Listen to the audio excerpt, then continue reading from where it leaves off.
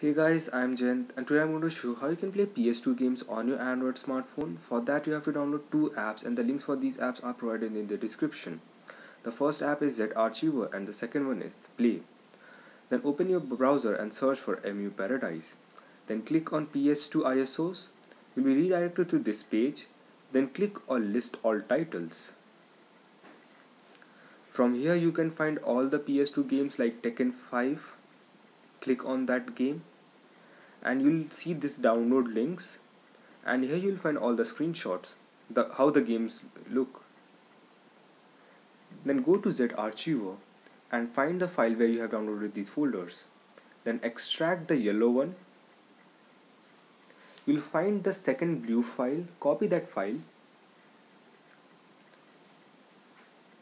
And paste this file at play data files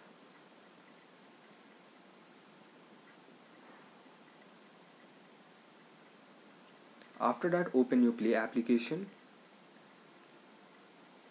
and click on the game which you want to play. It usually takes some time because these are very heavy games.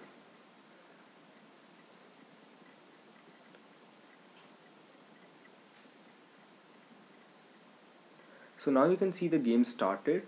It will take some time to load because it is for the first time I'm playing this game I'll suggest first download some smaller games of 200 or 600 MBs because most of the phones do not support this type of files.